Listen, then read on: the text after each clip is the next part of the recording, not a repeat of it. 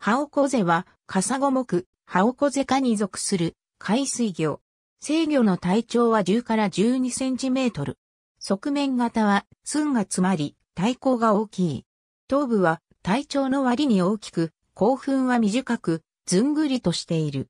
背びれが前方に向かって頭部にまで伸びと坂のように発達し、串状のヒレ状は独占になっている。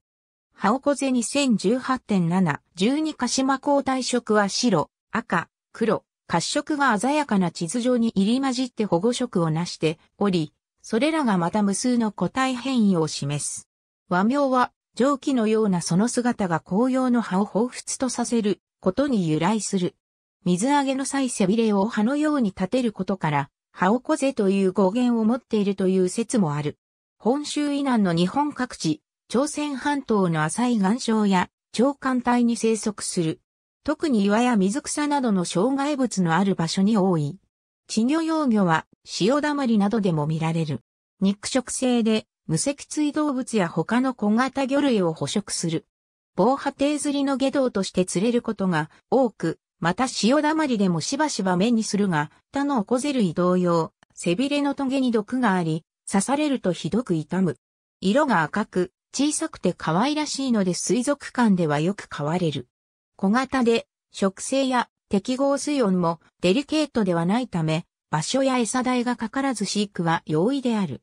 手間と危険を伴うが、毒のある背びれを取り除けば、食材としても活用できる。唐揚げで食べられるケースが一般的。しかし、サイズが小さく、背びれに毒も有するため裁くのに手間がかかり、過食部分も少ないため、通常は食用とされず、捨てられることが多い。タンパク質毒素及び酵素は高温で揚げると変性するため、生の状態では除去しがたい背びれはあえて残して、調理時の安全性を確保する。揚げ調理をすることで、熱変性により無毒化が可能だが、加熱不足などによる万が一があってはならないため、背びれ付近は触らずに、筋肉とそれに付随する皮膚だけを食べるのが望ましい。レッドフィンベルバトフィッシュ、パラセントロッポガンルブリピニスオーバービュー、エンサイクロペディアオブライフ2013年9月7日、閲覧。望月健治、図説魚と会の辞典302項。ありがとうございます。